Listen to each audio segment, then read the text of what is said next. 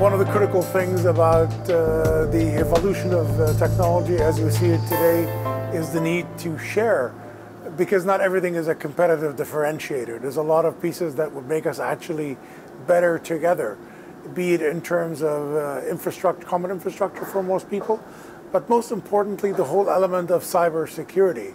There is no reason for all of us to experience the same issue for us to learn.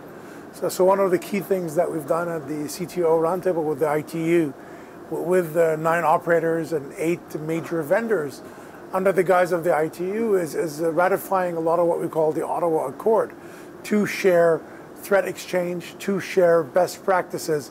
As we notice there's a whole number of gaps thing in, in standards, it is important that we operationalize how we become better together, how together we are richer. This is, to me, uh, cyber attacks or cyber terrorism is an area that is important to all of us, not just Mike. If it happens to my competitor or myself, this is the more, the stronger we are together on that front.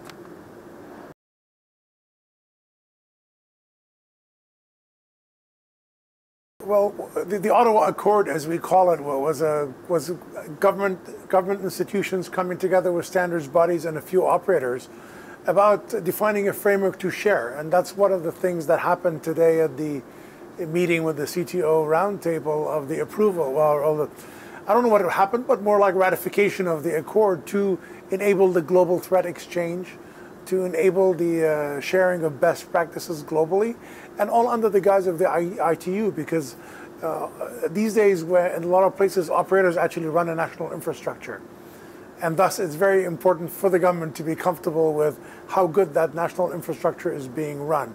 So my, my aim is, after today, really excited to, to, to give it a shot to see the birth of the Ottawa Accord with the ITU, with the feedback that we got from the various uh, stakeholders.